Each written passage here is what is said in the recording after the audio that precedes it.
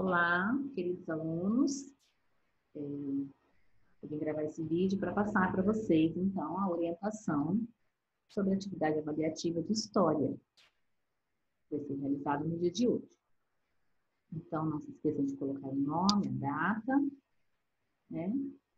E a primeira atividade foi um conteúdo que a gente estudou lá no início do ano sobre as fontes históricas, né? Os textos é, a respeito desse conteúdo estão nos REPs que vocês é, realizaram no, início do ano, do REP 1 ao REP 5. E vocês vão ter que completar as frases com essas palavras, fontes históricas, passado, presente e conhecimento. Então, aqui na letra A, quais dessas palavras se encaixam para completar essa frase aqui, esse texto?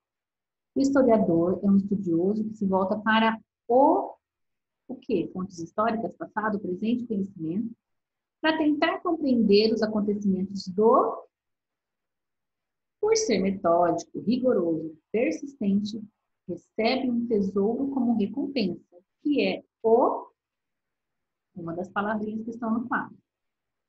Para conhecer um fato que não presenciou, o historiador faz o uso de determinada coisa. A partir das fontes históricas, o historiador relaciona e interpreta fatos, podendo então escrever um relato histórico. Então, nessa primeira, você vai escrever essas palavras, né, nesses espaços aqui, de acordo com, ah, com que for estiver completando realmente a frase, dando sentido, o sentido correto à frase. Coloquei duas, número um aqui, vou passar para o número dois aqui. Como a agricultura e a domesticação dos animais produziram uma verdadeira mudança na vida dos primeiros grupos humanos. Então, nós estudamos sobre os primeiros grupos humanos, né? Que primeiro eles eram nômades. E aí, quando eles passaram a ter o domínio da agricultura e começaram a domesticar os animais, algo mudou na vida deles. O que, que foi essa mudança? Vocês vão escrever aqui. Nós temos textos também, lá na apostila, né? Tem os textos, principalmente os textos que estão no REP, é, que podem ajudar vocês a responder essa questão de número 2. Número 3.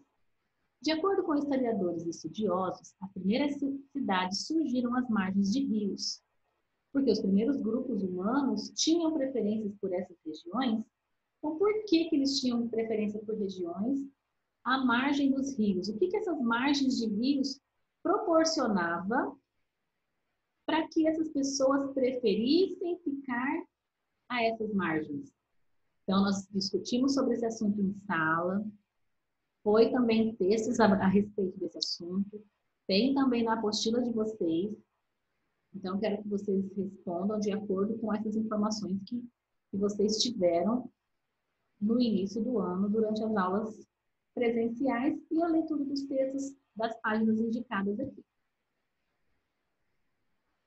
Número 4. A gente vai começar agora é, com conteúdos relacionados às aulas online, né?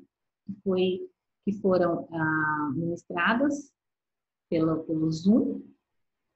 E a primeira pergunta é o que eram as grandes navegações? Para poder responder essas questões também, foram enviados é, textos nas atividades, nas aulas programadas, né?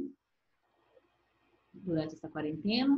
Foram enviados também textos nos grupos, textos de apoio sobre as grandes navegações. E também eu enviei dois, dois vídeos a respeito das grandes navegações. Um sobre as especiarias e outro especificamente sobre as grandes navegações. Então, o que, que eram essas grandes navegações? Eu quero a definição, né, dessas grandes navegações. O que, que eram? o que, que eles realizaram essas viagens, né? Número 5, temos lá na apostila também a importância das especiarias no século XV. Qual é a importância? Por que, que elas eram tão importantes? Inclusive, um pouco da resposta da número 4 tem a ver com a importância das especiarias. Então, quero que vocês escrevam aqui nesse espaço abaixo. Número 6. dê três exemplos de tecnologias navais que foram aperfeiçoadas ou desenvolvidas na época das grandes navegações. Então, nós vimos, é, nós, durante as aulas, nós estudamos que os portugueses eles tinham uma, uma, uma vantagem em relação às técnicas, às tecnologias navais, né? Eles tinham, inclusive, uma escola de navegadores, que era a escola de Sagres, e eles desenvolveram algumas tecnologias que é, facilitavam para eles esse, essas viagens né, durante a época das grandes navegações. Então, quais eram essas três tecnologias? Vocês já fizeram essa atividade nas aulas programadas, também tem na apostila de vocês.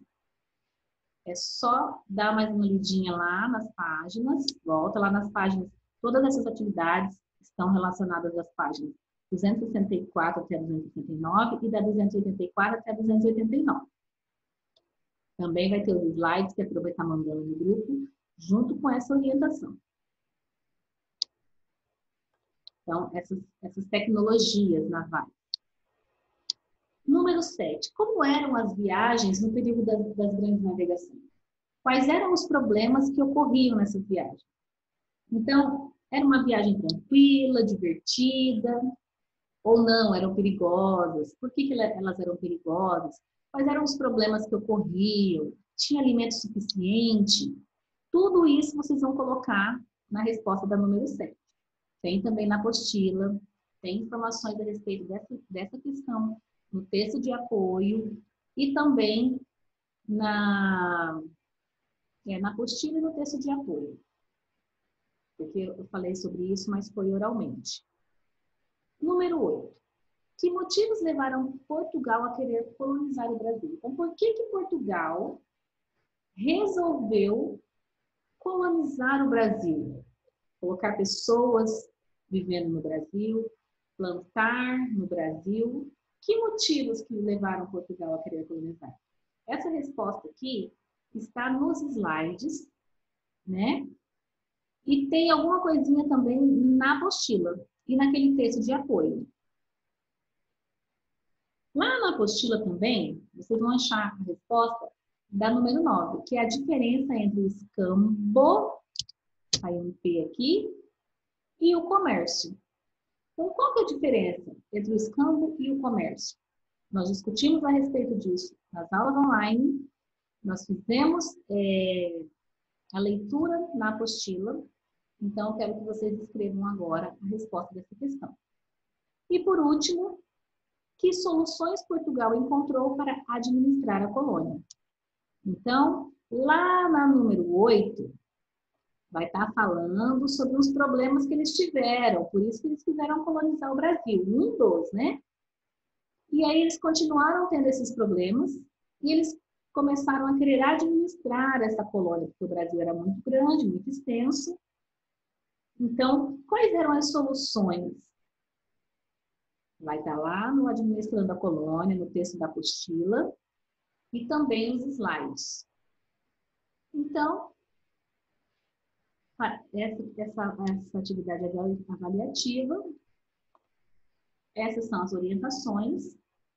Como eu já tinha é, falado nas outras, é, nos outros vídeos, Qualquer dúvida pode entrar em contato, a Pro não vai dar a resposta, mas eu posso ajudar vocês a se lembrarem daquilo que foi explicado em sala de aula ou nas aulas online.